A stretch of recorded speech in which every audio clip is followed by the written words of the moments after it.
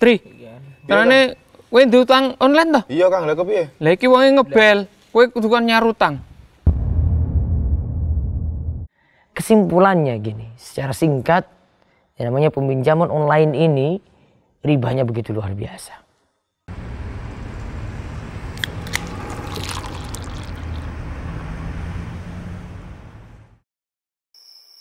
Yo, Piye? sepurane ya aku iso mbaleke utangmu sing wingi kae. Lah, lah kepe to? Jare marak balik ke saiki. Lah aku malah utang online jebul bungane gede.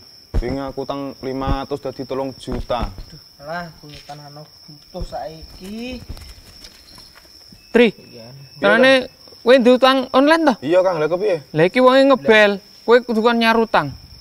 Lah aku ora ngenehke nomormu nang dhek kok. Lah awake dhewe rek cok bil-bilan to, Tri. Berarti saka kuwi lho ngerti nomorku. Kowe sesuk intine kowe kon nyarutang. Lah, melakne kowe iki nek diutang iki disaur. Gek iki disaur to. Nah kuwi aja lali disaur sik nih.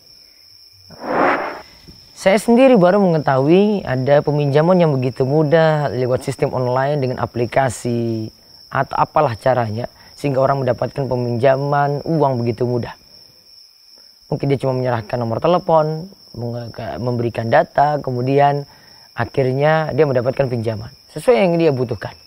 Seperti tadi dalam cerita dia butuh 500 ribu, namun ternyata berkembang jadi 3 juta rupiah. Kesimpulannya gini, secara singkat, yang namanya peminjaman online ini ribanya begitu luar biasa. Saya ingin jelaskan beberapa kerugiannya ini dari kesimpulan yang saya dengar dari beberapa video tentang kerugian peminjaman online. Yang pertama, perlu ketahui bahwasanya seperti tadi diceritakan ada teman yang datang akhirnya nagih beritahu kepada orang yang meminjam. Maka kontak dari si peminjam siapa saja yang dia pernah hubungi, sering hubungi siapa, dari pihak fintech itu akan tahu. Sehingga dia akan hubungi temannya tadi. Mungkin ada beberapa orang dia ingatkan semuanya. Beritahu bahwasanya dia punya utang ini belum dibayar, belum dibayar, belum dibayar. Sehingga banyak orang yang akhirnya menagih. Nggak perlu dengan debit kolektor. Kemudian yang kedua, bunganya begitu tinggi. Ternyata bunga itu bisa sampai 30% per tahun. Beda dengan bank biasa yang sekitar cuma 9 sampai 12%. Dan juga diingat di sini, ketika terlambat untuk membayar, ternyata si peminjam sudah buat kesepakatan bahwasanya dia akan mendapatkan bunga harian. Ingat bunga harian. Ya, maka dihitung per hari utang berapa utang berapa maka wajar saja tadi pinjam 500 ribu akhirnya disuruh bayar 3 juta rupiah maka ingat riba itu sangat-sangat kejam sekali.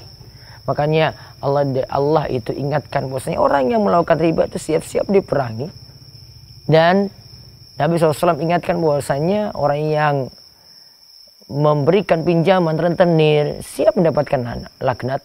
Karena Rasul kata Rasul sampai melaknat la'an Rasulullah SAW akila riba wa bikalahu wa katiba wa syahidai Rasulullah SAW itu melaknat orang yang memakan riba, yang meminjam, orang yang mencatat jadi sekretaris dan orang yang menjadi saksi ada dua orang di situ.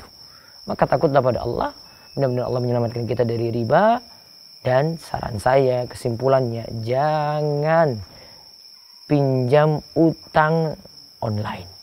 Ya, jangan pinjam uang online begitu bahaya dan Anda akan menyesal sendiri ketika tahu tadi kerugian yang begitu besar. Moga selalu diberikan ketakwaan.